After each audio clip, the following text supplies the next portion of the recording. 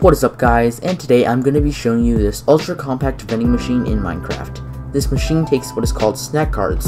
You put one in the dispenser, press the button, and you get a cookie.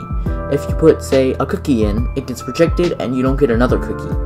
Now, you can customize what item is required and what comes out of the machine, and it fits snugly in a 3x3x5 area. So without further ado, I will show you how to build this. You will need a dispenser, two redstone comparators, two chests, two hoppers, five blocks of your choice, a dropper, a button, a redstone lamp, three redstone dust, a redstone repeater, a note block, and a redstone torch. First, dig a 3x5 hole into the ground and put a dispenser here.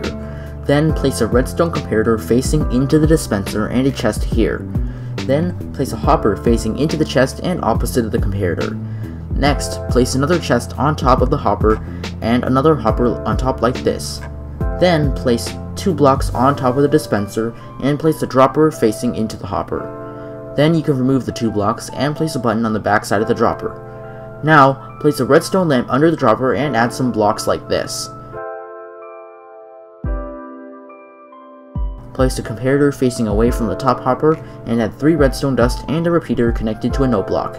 Lastly, place a redstone torch here, and then fill the top hopper with whatever you want to be what the user pays. For example, if you want the user to pay in diamonds, fill the hopper with diamonds.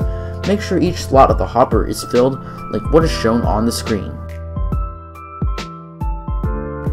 Next, fill the dispenser with whatever you want to give out to the user once they pay.